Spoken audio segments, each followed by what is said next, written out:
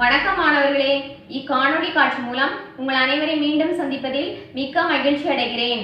ஏழாம் வகுப்பு மூன்றாம் பருவம் இயல் இரண்டு கவிதை பேழை பாடத்தலைப்பு அறம் என்னும் கதிர். அறநெறி கருத்துக்களை இளமை பருவத்திலேயே கற்க வேண்டும் என்பதை உளவு தொழிலோடு ஒப்பிட்டு பாடும் பாடல் ஒன்று நமக்கு இங்கு செயலாக கொடுக்கப்பட்டுள்ளது. இந்த செயல் பகுதியானது மனப்பாட பகுதியாகும். செயல் பகுதிக்குள் செல்லலாமா? அறம் என்னும் கதிர் என்ற இந்த செயல் பகுதியானது நமக்கு கூறும் கருத்து என்னவென்றால் இளமை பருவம் முதல் நாம் கல்வியை மட்டுமல்லாமல் பல நற்பண்புகளையும் கற்றுக்கொள்ள வேண்டும். இளமை பருவம் எதையும் எளிதில் கற்றுக்கொள்ளக்கூடிய பருவம். அந்த பருவத்தில் நாம் பல நற்பண்புகளை கல்வியோடு சேர்த்து கற்றுக்கொள்ள வேண்டும். இந்த நற்பண்புகள் சிறிது சிறிதாக நம்முடைய குணநலன்களாகவே மாறி நம்முடைய வாழ்வை சிறப்பிக்கும். வாழ்வு முழுமைக்கும் பயனளிக்கும்.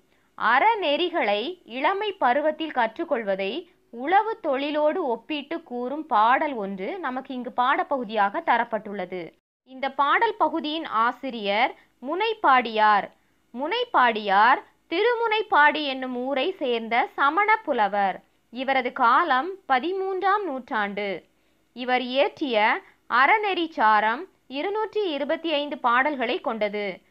அறநெறிகளை தொகுத்து கூறுவதால் இந்நூல் அறநெறிச்சாரம் என பெயர் பெற்றது. இந்நூலின் பதினைந்தாம் பாடல் நமக்கு பாடப்பகுதியாக தரப்பட்டுள்ளது. இப்பொழுது நாம் அந்த பாடல் பகுதியை கவனமாக கேட்கலாம். இன்சொல் விளை நிலனா ஈதலே வித்தாக வன்சொல் களை கட்டு வாய்மை எருவட்டி அன்பு நீர் பாய்ச்சி அறக்கதிர் ஈன ஓர் பைங்குள் சிறுகாலை செய். இப்பொழுது நாம் இந்த பாடலுக்கான பொருளை பார்க்கலாம். இன்சொல் விளைநிலனா ஈதலே வித்தாக. இன்சொல்லை அதாவது இனிமையான சொல்லை விளைநிலமாக கொண்டு ஈதலே வித்தாக. ஈதல் என்றால் கொடுத்தல். ஈகை என்னும் பண்பை விதையாக விதைக்க வேண்டும். வன்சொல் களை கட்டு. வன்சொல் என்றால் பிறரை புண்படுத்துகின்ற கொடுமையான சொற்களை தான் இங்கு வன்சொல் என்கிறார்கள்.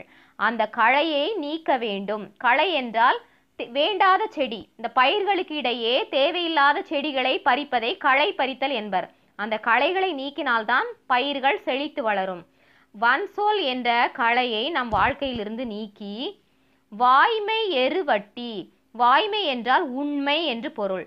உண்மை பேசுதல் என்னும் எரிவினை இட்டு அன்பு நீர் பாய்ச்சி. ஒரு செடி செழித்து வளர்வதற்கு நீர் மிகவும் அவசியம். அன்பு என்ற நீரை பாய்ச்சி அறமாகிய கதிரை பெற முடியும்.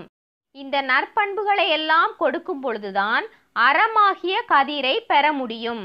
இந்த பாடலில் கூறப்பட்டுள்ள இனிமையான சொல் ஈகை என்னும் பண்பு வன் சொல்லை நீக்குதல் உண்மை பேசுதல் அன்பு நீர் பாய்ச்சுதல் போன்ற நற்பண்புகளை எல்லாம் கொடுக்கும் பொழுதுதான் அறமாகிய கதிரை பெற முடியும். இந்த செயல்களை எல்லாம் சிறு வயதிலிருந்தே கொடுக்கும் பொழுதுதான் ஒரு சிறி சிறந்த மனிதனை உருவாக்க முடியும் என்பது இந்த பாடல் வரிகளின் பொருளாகும். மீண்டும் ஒருமுறை இந்த பாடலின் பொருளை நாம் பார்க்கலாம். இனிய சொல்லையே விளைநிலமாக கொண்டு ஈகை என்னும் பண்பை விதையாக விதைத்து வன்சொல் என்னும் களையை நீக்கி உண்மை பேசுதல் என்னும் எருவினை இட்டு அன்பாகிய நீரினை பாய்ச்சி அறமாகிய கதிரினை பெற முடியும்.